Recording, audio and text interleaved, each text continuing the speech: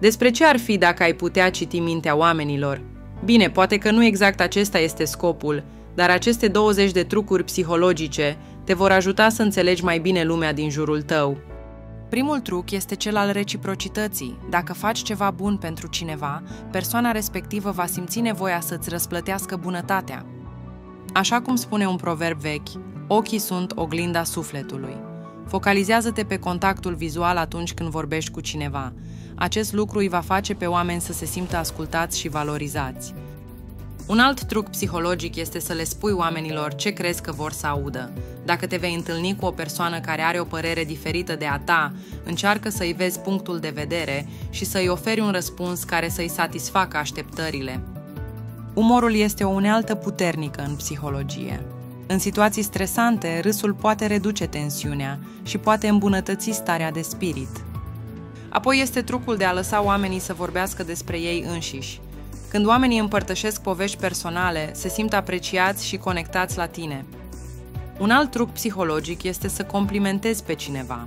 Complimentele sincere îi fac pe oameni să se simtă bine în prezența ta și să te aprecieze mai mult. Un alt truc este să-ți îndrepți atenția asupra corpului tău. Înțelegerea limbajului corpului tău și a celui al celorlalți îți poate oferi o perspectivă valoroasă asupra a ceea ce se întâmplă cu adevărat. Apoi este trucul de a folosi numele unei persoane când vorbești cu ea. Acest lucru îi face pe oameni să se simtă speciali și validați.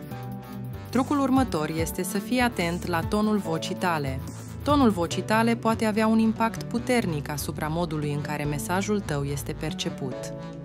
Un alt truc este să încurajezi oamenii să vorbească despre realizările lor.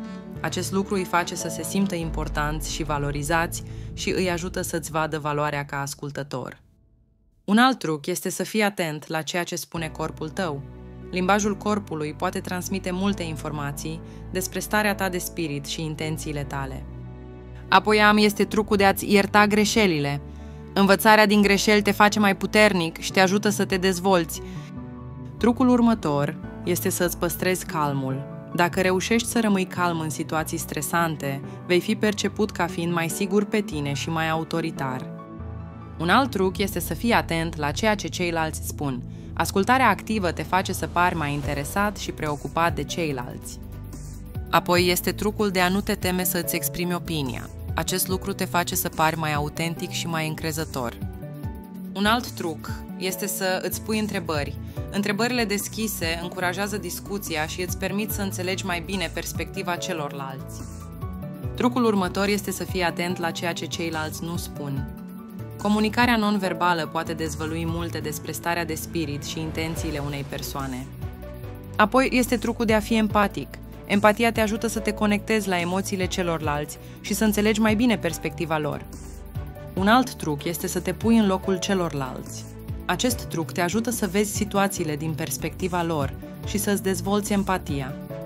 Ultimul truc este să răspunzi pozitiv la critică. Acest lucru te ajută să înveți și să te dezvolți, transformând critica într-o oportunitate de creștere și îmbunătățire.